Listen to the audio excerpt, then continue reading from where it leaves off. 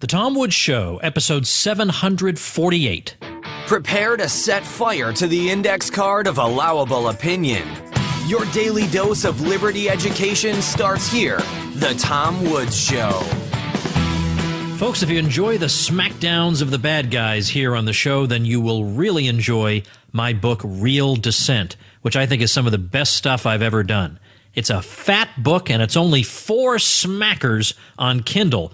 Plus, you can get the audiobook version for free with me reading it. Check out the details at realdissent.com. Hello, everybody. Tom Woods here. You know, I do, I haven't done this in an awful long time, but I do occasionally release a so called bonus episode, an episode in addition to the regular five episodes a week when it's an episode that strays a little bit from the normal subject matter of the show.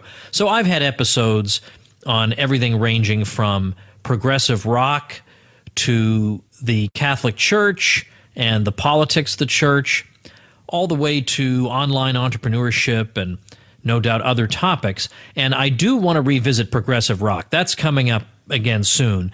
The only issue is I have to listen to some stuff to get up to speed in order to keep keep up with Brad Birzer when he comes back on to talk about that. So that's my fault. I will eventually get to that. And I do have some business folks I'm going to be sprinkling into bonus episodes from time to time. So this one could easily have been a bonus episode. But look, I'm, I'm going to the Mises Institute event in Cambridge, Massachusetts this weekend. And then a week after that, I'm going on the Contra cruise for a week. So it's a miracle I'm able to do five episodes at all. So this one, thanks to my crazy schedule, gets upgraded to a regular, standard Monday through Friday Tom Wood Show episode. And our guest today is James Newcomb. And not too long ago, I talked to a conscientious objector who is a member of my supporting listeners program. So I get to know some of these folks uh, through supportinglisteners.com because we have a, a, private Facebook group. And it turns out James is also a, a, a conscientious objector, but that's not the primary reason I'm, I'm having him on, although I think that's an interesting bit of information about him that you will find interesting as well. But also, I'm interested in what he's been up to since leaving the military. This is a consistent, regular show listener, uh, James is, and he is trying his hand at making a living online. Uh, is trying trying his hand at becoming an entrepreneur while being a musician. So, in fact, he is planning he has a blog called Musicpreneur, and he's planning a podcast, Musicpreneur. Very interesting. How to help independent musicians figure out how to make a go of this in this world of the internet. He's also the founder and director of a podcast called Trumpet Dynamics, and I'll be linking to both of these things at tomwoods.com slash 748. So I thought this might be an interesting discussion because, after all, we all believe in entrepreneurship, those of us who listen to this show. And frankly, I personally think that given that there is the possibility of, there's always a possibility with the Fed around of recession and bad economic news, what could be bad about trying to build up an outside income stream or two or three or four of them? Like, what could be bad about that? We would all want to do that. So let's let's give it a try. James, welcome to the show. Hey, thanks, Tom. It's a pleasure to be here. I've been interested in what you've been doing for quite a while, and I listened to the interview you did with the guy who's known as the real Brian mm-hmm. on the Podcasters Paradise podcast, which I've also been on, and I love him as an interviewer. I mean, he just he's genuinely enthusiastic about what each guest is doing. He's thrilled to hear about what James Newcomb is up to, yep. as am I, and not only because you're a, a listener of this show and a and supporting listener at that but just because I I love stories like this, and I love to see how people carve out their niches and and uh, and make it make a go with things. You're a musician, and so that's where you've gone. And by the way, before we even get started, since I'm not a musician, but I have strong opinions on music, anytime a musician validates my musical opinions, it makes me feel smart. so I'm glad that you've appreciated some of my, not all listeners appreciate them, but you've appreciated some of my musical recommendations over the years. So I'm well, grateful for that. Yeah, that's too bad that people can't uh, see the great. You know, if Igor Stravinsky or like Mozart or Bach were alive today, I think that people like that would be in the prog rock scene. There you go. There you go. That's you know what I mean? That's all I'm trying to say here. Yeah. All right. Okay. I want to talk about what what you do. Now you've changed up what you've been doing Mm-hmm. uh, over the years, but it's got the same basic trajectory. You are a musician, and you're primarily a trumpet player, That's correct.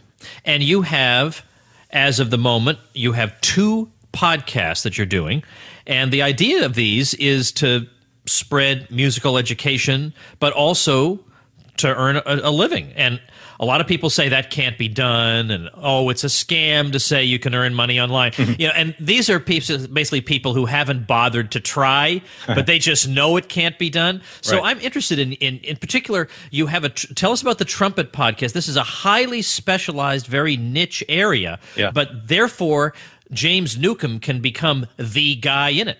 Right. Well, my podcasting career started, uh, I guess I got interested in, in it about two years ago when John Lee Dumas came on your show. And at that time, your show was the only podcast that I really listened to. I wasn't really interested in anything else, uh, business or economics otherwise. But Tom Woods was the guy for me. And uh, John came on and he was explaining how much he was earning with his podcasting business and I thought, man, you know, you know how much he earns. It's Yeah, significant. I would be happy with the tiniest slice of that. and I thought, you know, the fact that he is making that kind of money means that there's money to be made. And I might not make what he's making. I mean, I, I- might not get to that level, but the fact that he is making it happen shows that it can be that it can be done. And so I joined Podcasters Paradise, um, like you did. Shortly after that, my first podcast was called Outside the Music Box, and that went okay. Uh, but the problem with Outside the Music Box was one, I was still active duty in the Army, and so I had a very limited amount of time that I could dedicate to it. Two, I was stationed in Korea at the time, and so 90% of my guests were in the US, so there was a constant battle with scheduling. I, I, I literally did interviews at 4 o'clock in the morning just to accommodate guests and 10 o'clock at night, and it was just a big headache. Uh, but really, the big problem with Outside the Music Box was I just didn't uh, take the time to really niche down. I, I, it was just a little too broad of a topic. I was trying to get people to think about how music is always in our lives. It's how you can just walk outside and listen to the birds sing, and there's music. And it, ultimately, it was just a little bit too broad to really nail down uh, a core audience. And so I decided to regroup a little bit, and I started another podcast called Trumpet Dynamics, and that's going.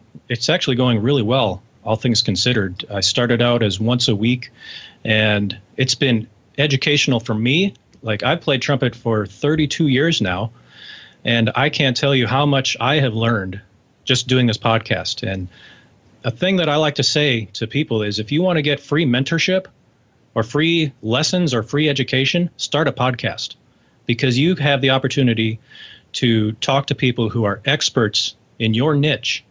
And they don't want to necessarily just talk to you, but you have an audience and you have uh, a means that they can they, they can communicate their message to other people. And I can't tell you, Tom, how much I have learned uh, just just talking to people who will forget who will forget more about trumpet than I'll ever learn. And so it started out as once a week, and um, I don't know if you were following John Lee Dumas. He's I guess he's my my go-to mentor when it comes to podcasting. Oh yeah, I follow him closely. because I'm curious to see when he tries things Yeah. if they work or they don't work. And even when he sends out emails to his list, half the time he's promoting an affiliate product that I'm aware of, and I want to see how he promotes it because he's the master. And he's gotten to the point where he's promoting his own products now. And that's really that's really where the money is to be made right there. Yes. Anyway, he had um, his big push was for the Freedom Journal, and he had a Kickstarter campaign. And one of the perks for the Kickstarter campaign was you, you contribute a certain amount, and then you can spend an entire day with him in Puerto Rico. And so I I just left the military. I had uh, some money in savings, and I thought, man, if I don't take this opportunity now, I might never get this opportunity again. And I paid the money and went out to Puerto Rico. And the result of uh, my time with John was this idea called Musicpreneur. And you said that it's uh, a second podcast. It's actually not quite launched yet. It's going to launch on January 1st of 2017. Oh, okay, okay, I got it. Okay. So it's a blog right now, and I'm and I write in the blog every day. But the actual podcast won't start until January 1st. Okay, but we'll be directing some traffic over to that blog so that you Sure. can you can exploit some of it for when the podcast starts. Okay. And I also have a free gift if anyone's interested, I'll mention later. But um, Of course you do. You were trained by John. Of course you have a free gift. What else would you have? and I also have a specialized page just on, on my website just for your listeners. Oh, is it- so, look, okay, good. This was time well spent. I knew that you had somehow been mentored by him, but I didn't know exactly. I didn't know you actually went to Puerto Rico, where he he relocated from San Diego a couple of years ago. Yes. uh, d- down there, and I. I suppose it was for tax reasons, but he earns so much money. I just can't imagine that would matter. I'd rather live in San Diego, but that's my, that's my own preference. Well, I'm not going to speak on John's behalf, but he was paying a significant amount of taxes. And it went down from his tax burden went down from in the neighborhood of 51% to about 4%. Okay, well now suddenly I want to move to Puerto Rico. too. so all right, so so you, you got there and you told him. I mean, I I, I want to know about how this session went because he's got. Sure. I I'm going to link to the uh, people listening to this really need to listen to my episode that I did with him. Yes. I'm going to link to it at tomwoods.com slash 748. You really need to listen to this because this is a guy who for real makes this work and who started from nothing. And, and in fact, he says his f- first few podcast episodes are just embarrassing. He's so bad at it, but he just kept going and kept going and kept going and learning and implementing. And man, he is now the go-to master. I mean, this is a guy who's earning, just so people understand, he's earning six figures a month from his podcast. So he really does know what he's talking about. All right, so tell me what it was like to spend a day with this guy. Well, he has a certain persona that is um, that he like an on-camera persona, and it's very energetic. Really, just go, go, go, go, go. That's his sort of on-camera persona. In real life, he's very. Uh, he, I'd say he's very. He's much more relaxed than he is when he's podcasting or doing a webinar or something. Um, yeah, I would say that he's uh, he's more. I, I guess he's just tame, much more so than his on-camera persona. And, But, and by um, the way, I think that would be a fine way for him to run his different things because I sometimes feel like he's overdoing it.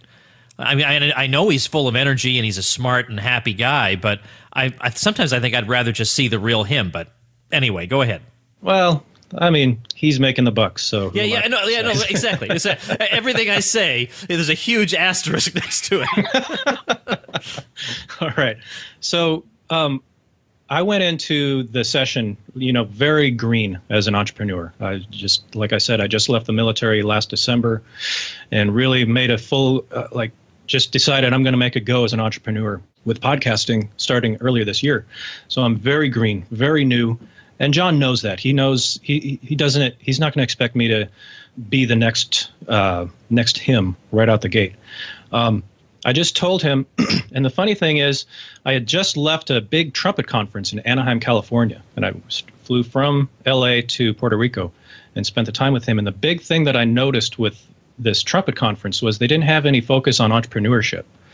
Uh, they had a bunch of uh, instruction, they had recitals, which are great. I, me being a trumpet player, I loved it, but they didn't have any focused, um, dedicated instruction on entrepreneurship.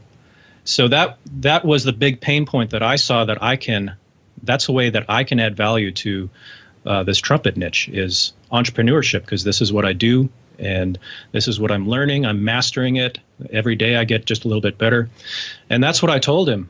John I, I said John this is this is where I feel that I can uh, add value not just to the trumpet world but to musicians in general who want to make a go of uh, they want to monetize their musical abilities. This is this is where I can uh, add value. This is where I can perfect my own skill set and and really make a go of it. So uh, the decision the decision was made by me with his coaching and his guidance to make a three day a week podcast, and that's what Musicpreneur is going to be starting in January. It's going to be three days a week.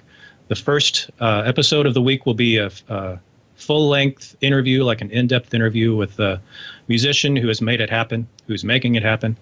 Uh, the second episode will be uh, a little more like I call it a technique Tuesday or something like that, and focus on one specific element of entrepreneurship that musicians can uh, implement in their business. And then the third episode will be me going solo, 15, 20 minutes or so, and just kind of wrapping things up. And so after that day with John, I made the decision I'm going to take this trumpet podcast. I have this audience that I can sort of tinker with. I can experiment with things. And first thing I did was make it a three day a week podcast. And so now I'm going to hit episode 100 in, I think it's December 14th, which, you know, that's, that's a, an achievement, I guess. But um, I guess the result of my time with John was that is the trajectory that I'm going to take my business with podcasting. And once I launch the Musicpreneur podcast, once it's totally in motion, then uh, remains to be seen what's going to happen with the Trumpet podcast. I'm experimenting with ideas as to how to make sort of a open source community, kind of like a Craigslist type of site for trumpet players, or uh, I'm just kind of tinkering with some ideas with that. Well, how many trumpet podcasts are there? Right now, there are three that I know of. One of which was started as a result of listening to my podcast. so, um, like, I was uh, advertising the uh, free podcast course that John does, and so he listened to that and he started his own podcast. So, but there's three that put out content regularly that I know of. Okay, so that's not that many, but at no. the same time, the trumpet community is not the biggest community in the world. So you when but when when you started your podcast, so that's three. One of them was started because of you. So there's, there's a third one. Was that one already there when you got started? Yeah, that one's been around for about two years. Okay, so in other words, there are whole areas. They don't have to be gigantic, because really all you need is a is a dedicated group of listeners who love what you're doing. That really is. It's not numbers so much. Numbers are nice, but it's finding these people who have something in common and who really like what you're doing that matters. If something like trumpet, which is something everybody's heard of, can be so wide open that you can be one of the only people doing it, it seems like maybe there's more virgin territory in the podcasting world than I thought. Well, credibility is currency. You know, like you're not going to make I'm not going to make a whole lot of money with podcasting about trumpet. I realize that. And you ask any trumpet player they'll say, yeah, there's not a whole lot of money playing trumpet. And the same is true with having a trumpet podcast. And I realize that. But there is a lot of credibility that I've gained. Like I, I left the military last December, and in the trumpet community, I was a total no name. No one knew me. I mean, I mean, I, I had a couple of friends, but as far as being any type of authority figure, no way. Just a short time later, nine months later, I have this podcast, and people know my name, and people think of me as as some something of an authority figure. And that the longer I do it, the more it'll grow. But there is there's a lot to be said for being an authority in one particular niche, and then uh, once you get good at that, then maybe you can expand and focus on something else, like I'm doing with the Musicpreneur. I had not thought of that, but that is really smart. And plus, you enjoy doing the probably the doing the trumpet podcast. You you get to talk to all kinds of people you wouldn't normally have the opportunity to talk to. And meanwhile, as you say, you're establishing yourself as somebody who knows what he's talking about and as somebody other people have heard of. Of course, yeah, he's got he's got uh, that podcast that everybody listens to. He's got basically hundred episodes. That's an interesting uh, angle on things. Oh yeah, and let me add that guess who's going to teach a class on entrepreneurship at that trumpet conference next May? Yeah, see, how about that? Yours truly. How about that? Now that would not have happened otherwise, presumably. Absolutely. That is great. Where do they hold a trumpet conference? Uh, this one is going to be in Pennsylvania, Hershey Park. All right, good, good, good. okay, so, so, so that's great. All right. So, meanwhile, though, presumably you have some kind of a day job while you're putting all this these uh, moving pieces together. You one would assume so, but um, this is what I've done since I left the army last. Oh, December. Oh wow, good for you. All right, that is good. So you are really throwing yourself into it. So a combination of that, and my wife is a pampered chef consultant, and so uh, I can't say that I'm like rolling in money with my podcasting efforts, but I can say that I'm much further along the lines of uh, monetization than I was when I started nine months ago. And my wife is uh, she's making it happen. We just relocated to North Carolina from Minnesota. And so, man, it's just a season of change for both of us. But um, you know, I'm getting my name out there as a as a musician here in the local area, trying to get some students, trying to get some gigs, and uh, you know, it's a little precarious right now, but uh, we'll be all we'll be fine. You know, if here I am, I'm in Florida, and I'm temporarily experimenting with a. Uh, I have a temporary home office while my the new place I'm going to be recording is being built actually, mm-hmm. and so whoever does the the, the the the shrub trimming or the the the lawn mowing and all that, they've decided to do that right now. So I mean, you would think that by episode 748, you wouldn't have extraneous noises. I'm not sure that's audible, but there's nothing I can do about it. I'm sorry. It's, it's just that I'm I'm in I'm in between recording places. Not, not much I can do about it. Oh, it sounded like a trumpet player warming up. All right, um, James. Let's talk about what music entrepreneurship is. What is it that a musician? What are some things a musician, an independent musician in this day and age, needs to know about entrepreneurship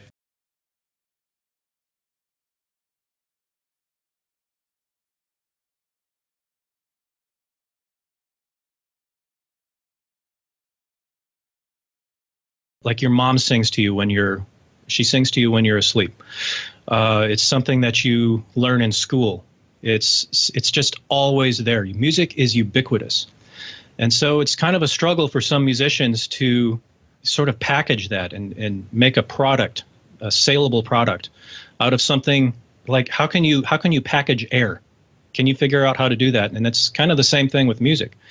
And so what I have come up with, or the sort of the solution that I have come up with, is that music itself is not the product. That's not how you're going to make money making music. The money is to be made in the experience of music. Like think about your favorite band, like Big Big Train. We both like Big Big Train, and you can um, buy. Well, you can listen to the entire album on iTunes for free, or uh, for, on YouTube for free. But Think of the contrast between that and going to a live show of Big Big Train. And and that's why you're willing to pay however much it is for a ticket to see Big Big Train. It's not 60 70 dollars for a ticket. It's the experience. It's not necessarily the music. And the next thing is that musicians are so far behind the curve when it comes to modern entrepreneurship. Um, there's a lot of old timers who say carry your business cards with you at all times uh, network, network, network, and that's great. But by and large, musicians are just not they're they're far behind the curve when it comes to using the internet, uh, using YouTube, building an email list. Uh, they're just they're just not aware of the tools that are available. And when it comes right down to it, it's not that much different than what you do, Tom. With like your your biggest uh, drive with all of these free ebooks that you offer is you want people on your email list, right? Right. And it's it's really not that much different from musician or for musicians. So that is the two biggest things that I see that musicians need to understand is that uh, you have to understand that the product of music that you're going to sell isn't your music; it's the experience that you're providing. And the second is to just be aware of the tools that are available to promote yourself and uh, make a name for yourself online. Did you happen to hear the interview I did with Leah McHenry?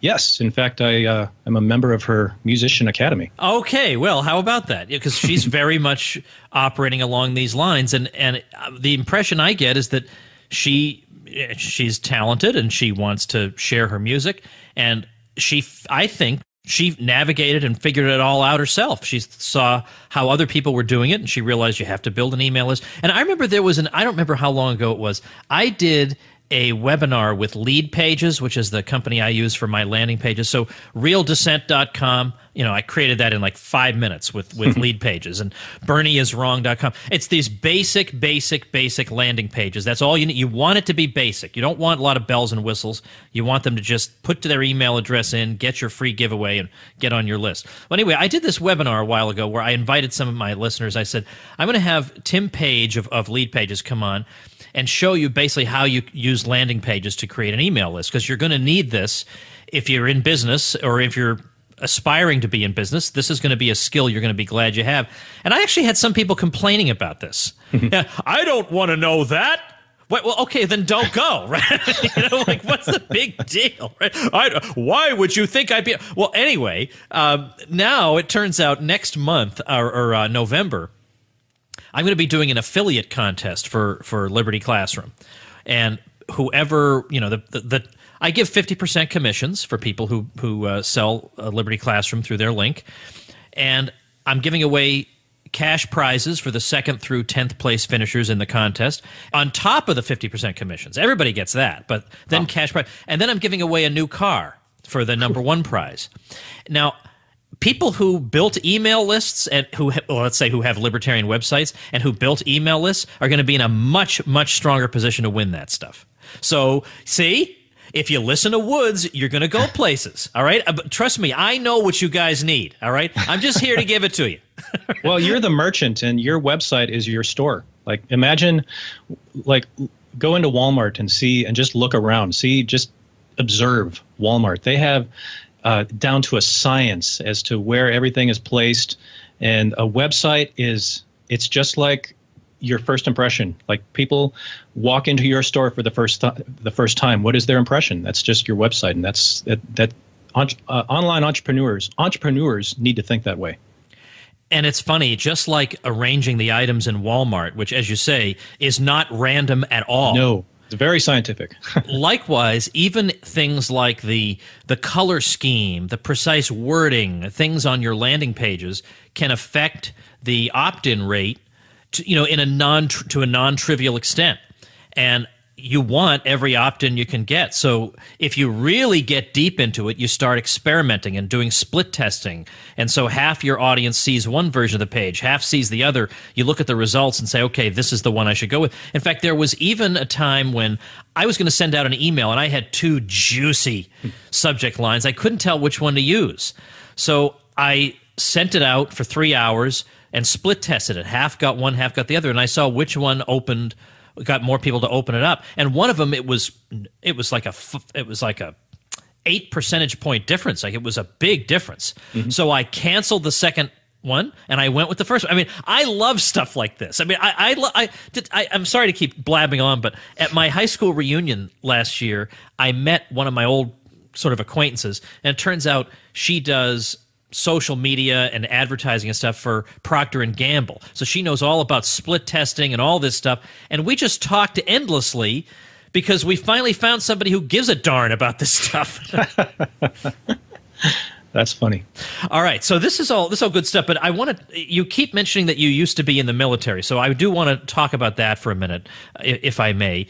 Okay. What were the circumstances there? You left the military. Well, that's not that's sometimes easier said than done. So tell me the why and the how. Hmm. Man, I knew you were going to ask me that. I well, did. I, yeah. I was in the military twice. Uh, the first time was in 94 to 98. I was right out of high school. I'm 40 years old now. And the second time was um, 2008 through, uh, like I said, last December. And there's two ways of exiting the military.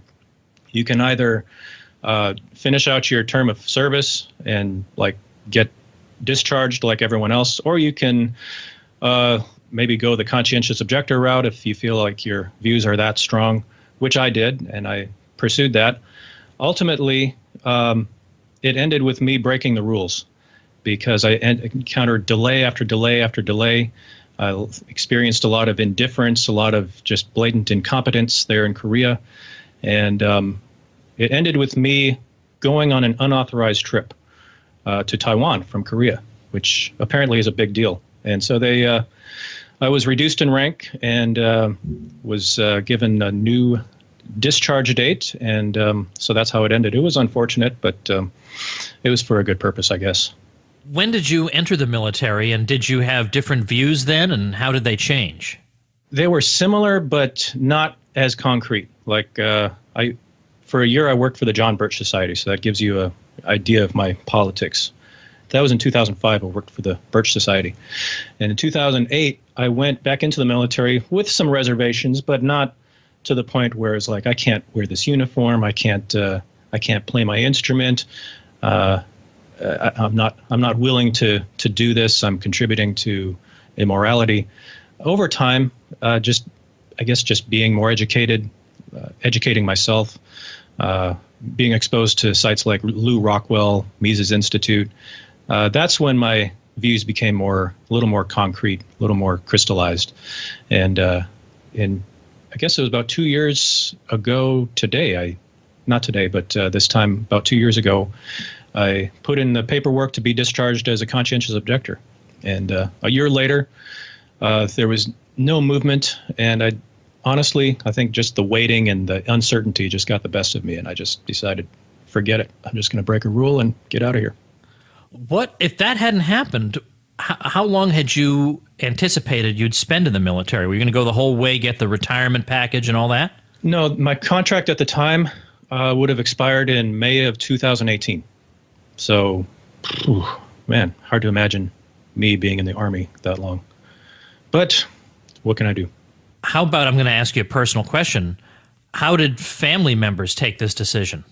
My wife was very opposed to it at first because uh, she has what uh, people call the security gland that men don't really have, but women like to know that things are set in place. And the military does provide at least an illusion of security, knowing that even if you don't get paid, then Congress will, no, they'll they'll get you a back pay. You, you sort of have this idea, this this understanding that you're still going to get paid no matter no matter what happens.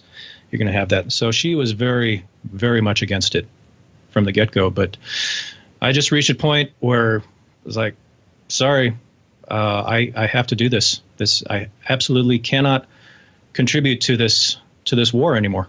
Uh, and and even even with something that's a non-combat role like playing an instrument, I'm still sort of rallying the the troops, rallying the public with my music, and it just got to a point where it was totally, it was absolutely incongruent with my own views and my own conscience. Wow, that's hard. That really is hard. And I understand, I totally understand the security point because, mm-hmm. of course, it's not like that wasn't weighing on your mind to some extent. Oh, of course it was. That is a, of course, that's a major factor. Mm-hmm. But at the same time, what could you do in that situation? Man, that's hard, and that that was not an easy decision you made. So all the more, I hope your uh, your efforts uh, right now. I mean, I'd really like to talk to you again in the future with sure. Musicpreneur are are really going to pay off. Now, what's the people want to visit Musicpreneur? How do they do that? Well, I've created a special page just for listeners of this show. You can go to musicpreneur.com and it's M U S I C P R E N E U R musicpreneur.com slash woods. And I've got. Uh, what else? Okay. Everything is slash woods. I've got a special message and uh, just tailor made for your audience. Oh, that is going to be great. Well, I'll link to that special page at tomwoods.com slash 748 if people don't remember it. So we'll put that there and, and anything else you want to send me that would be good to, to put there, I will I'll gladly add. So I think this counts as the publicity you get for using my Bluehost link I would say, yeah, this is sufficient. I think I can live with this. All right, good, good, good. All right, great talking to you, James. Best of luck. Thanks, Tom. All right, now my hope is that by tomorrow I will be able to tell you the site where you can download my next free ebook, and it'll be available. It's called Education Without the State. And the, the trouble I'm having is it's a I've got it as a Word document, and normally I have somebody who does all the work on it. They do the file conversion and all that stuff. But when I try to convert it to a PDF, it sometimes, you know, when I use one of these free online services, sometimes it sort of works. Sometimes it doesn't work at all in the sense that the the PDF doesn't use the same font that I want. I mean, I want it to be exactly the way my Word file looks, just as a PDF or on those services where they do get the font right, then at the end there's some weird graphic problem. So it looks like I need to hire somebody. And I did hire somebody who thought he was going to make a quick buck by just running it through one of these free online services. Look, man, I already did that. That's why I'm going to you. So I should be able to dig out somebody who's capable of doing this. So I am hopeful that I will be able to say to you, here you go. Here's your free ebook. Go enjoy it over the weekend. So Let's hope. Keep your fingers crossed, and I'm going to be able to make this work, and I'll talk to you tomorrow. Become a smarter libertarian in just 30 minutes a day. Visit tomwoods.com to subscribe to the show for free, and we'll see you next time.